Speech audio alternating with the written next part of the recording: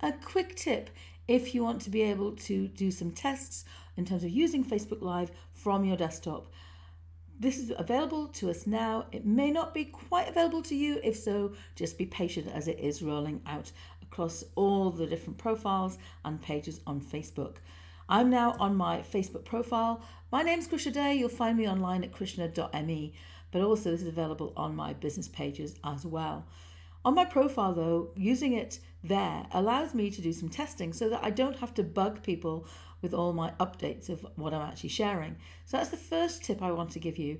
One of, the things you can do on your profile is you can set it up so only you see it or a selected group of friends or colleagues are able to see it. The next thing you'll be able to see is here it says, do I want to post a live video? If I actually click on that, it will then invite me to say something about what the live video is about. So this is what I'm going to do. I'm going to do a quick test for Facebook Live from my browser on desktop with no third party tools. That's the key update that we're actually seeing now. We actually don't need to, use any third party tools. Now, there are lots of benefits of doing so, but this is a quick way for you to be able to live stream on your profile or page directly from your desktop, which I know lots of people want to do. So I set this up to be only me, and then I'm going to click on next. I've already given Chrome access to my camera and also my microphone.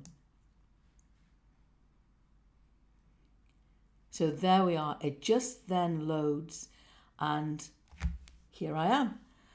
So the thing I want to mention here is up on the top right hand side, you'll see the fact that the page is accessing my camera and mic.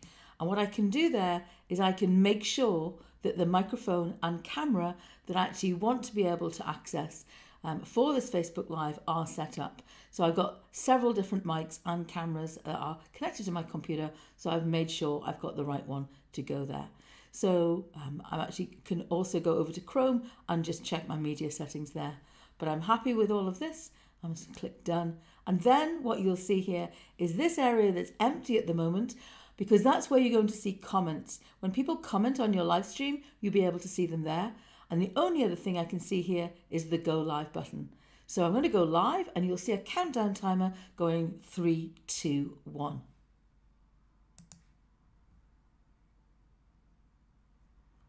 So now I can start live streaming. You can see right at the top, it says how many seconds or ultimately minutes that I'm going to be live streaming for. And down on the bottom right, you'll see the opportunity to say finish. The other thing that's really interesting, and I think many people will be really happy with this, is that if I actually host any, hold up any uh, materials, if I do so on mobile, at the minute, it's reverse image.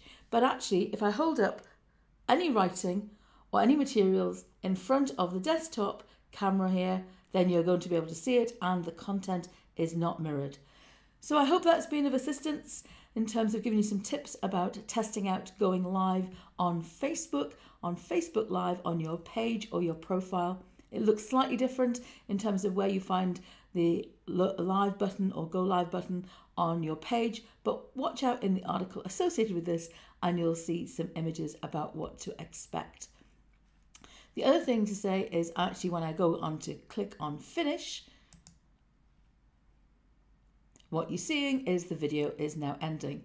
I now have a couple of options. I could delete the video if I wish to. Let's say if it was a test and I don't want people to be able to access it or see it. And the other option I have is that I can just then allow it to go directly, in this case, to my timeline or, of course, your Facebook page. Lots more things you can do when, particularly in terms of if you're posting to a page, such as optimizing your content on Facebook um, once that Facebook Live has completed.